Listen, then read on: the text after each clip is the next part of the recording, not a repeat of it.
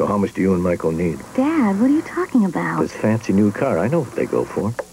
Really, we don't need help. Where was it built? Germany. You need help. Dad, come Look on. how it handles. A car like this is expensive. A car like this, it's a Volkswagen. Volkswagen? Mm-hmm. A Volkswagen Jetta GL. Oh, and I guess you don't need my help. Well, not with a Volkswagen. There's something else you want to buy? Let me help with the Volkswagen.